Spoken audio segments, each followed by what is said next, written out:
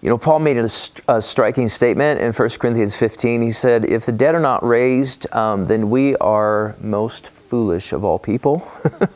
I think that's a that's like just true. That's just really true. Then then we as Christians are like the, the stupidest, most pitiful people on the planet um, if the dead are not raised. Um, and his thinking was, he, he goes on later in the chapter to say, you know, why am, I, why am I fighting against beasts? Why am I being beaten and all the rest for the gospel if the dead are not raised?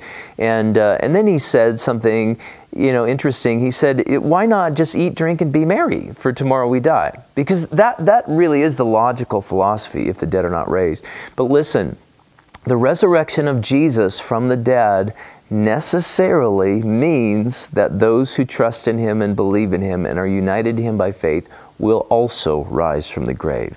Folks, there is life after death, eternal life, which is purchased for us by Jesus. That's what we celebrate at Easter time, is that Jesus has conquered death. There is purpose, there's eternal, transcendent purpose to life beyond this earth.